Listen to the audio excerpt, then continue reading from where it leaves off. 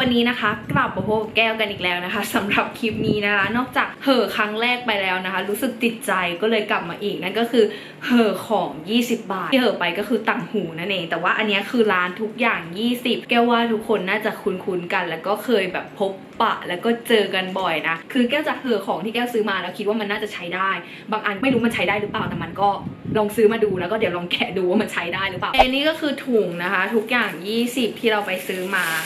บ้านนะคะ อย่างแรกที่คิดว่าน่าจะได้ใช้นั่นก็คือที่มันเป็นแบบเนี้ย facial cleansing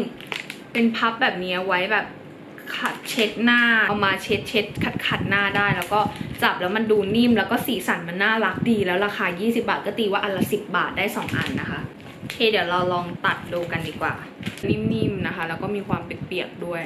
อันนี้ก็คือซื้อมาก็คิดว่ามันน่าจะใช้ได้แหละโอเค ต่อมาก็คืออันนี้นะคะ อันนี้เป็นยางมัดผมที่แก้ว แก้วมีแบรนด์ มันจะมีแบรนด์แบรนด์หนึ่งที่ทำอันนี้ออกมาอันแรกเลย แล้วก็ใช้ดีแต่ราคานางแพง แก้วก็เลยลองซื้อแบบนี้มาดูอะไรยี่สิบอย่างเงี้ย คุณภาพมันใช้ได้ไหมอะไรยี่สิบในที่นี้คือได้ต้องสองสี่หกแปดสิบสิบอันนะคะ ตีว่าอันละสองบาท แก้วคิดว่ามันโอเคนะ มันน่าจะมัดผมได้โอเคอยู่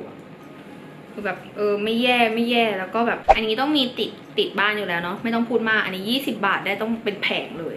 อันนี้เป็นของจุกจุกจิกจิกนะคะ นี่เป็นเพจแก้วใช้เอาไว้แบบติดตาแบบ ติดหางตาอะไรอย่างเงี้ยให้มันแบบน่ารักอะเออนี่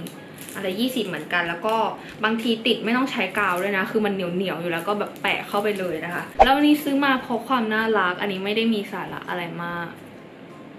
เป็นรูปแบบหมีน้องหมีอะไรแบบเนี้ย อันนี้เอาไปลองใช้แล้วนะคะ ใช้ได้แล้วก็ตะไบเล็บได้โอเค อันนี้ก็ 20 อันนี้ถือว่าคุณภาพดีเลยอะราคาเท่านี้มันลิงนะคะ อันนี้คือลิงที่แปะหลังโทรศัพท์ที่ใครที่แบบว่าเอาไว้ตั้งแก้วคิดว่ามันสะดวกสบายดีแก้วติดอยู่แล้วอันหนึ่ง อันนี้ไม่เป็นของแถมมาจาก vivo v5 แต่เอามาติด S8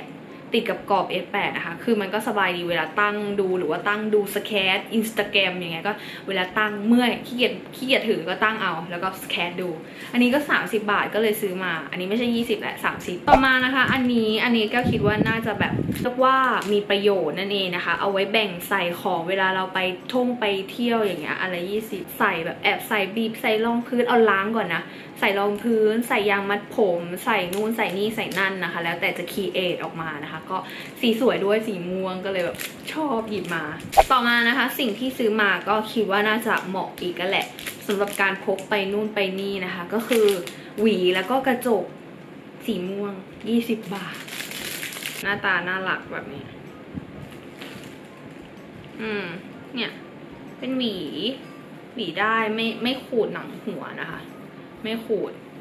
เออเขาก็ทำคุณภาพดีเนาะก็ตีว่าอันละสิบบาท แล้วก็ถือก็น่ารักดีน้องๆ ก็น่ารักดีเนาะอันนี้ถ้าเห็นลายกันนะมันอาจจะมีการติดแบบเห็นไม่ชัดแต่คือเป็นลายหัวจงหัวใจด้วยแต่อาจจะไม่สวยเท่าอันนี้อาจจะไม่สวยเท่าไหร่แต่ว่าหวีโอเคนะคะซื้อได้ในร้านทุกอย่าง 20นะคะไม่ต้องไปถึงขั้นไดโซ แต่ไดโซก็จะมีแบบ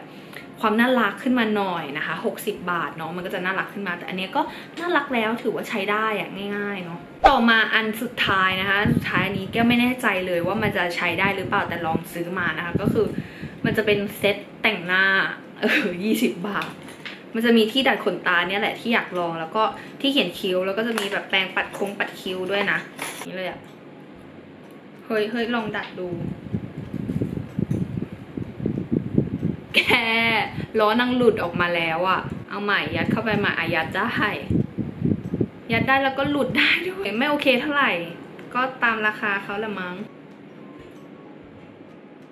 ไม่ได้อะ หนีบไม่ได้นะคะ ลงทุนเอาหน่อยนะคะสำหรับอันนี้ก็คิดว่าน่าจะไม่ค่ะอ้าวแต่ว่าได้อันนี้แหนบมา